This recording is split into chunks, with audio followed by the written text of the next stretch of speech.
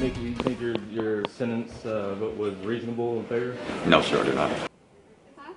The defendant says justice was cheated while in his first felony trial since the pandemic closed the courts. District Attorney John Gillespie wins a conviction and five consecutive life sentences for a repeat child sex offender. The jury of nine men and three women found Micky Dawn Wade guilty in his second conviction of sex crimes involving a child. They deliberated just over 15 minutes this morning. 89th District Judge Charles Barnard then granted the district attorney's request for life sentences on all five counts of sexual assault of a child.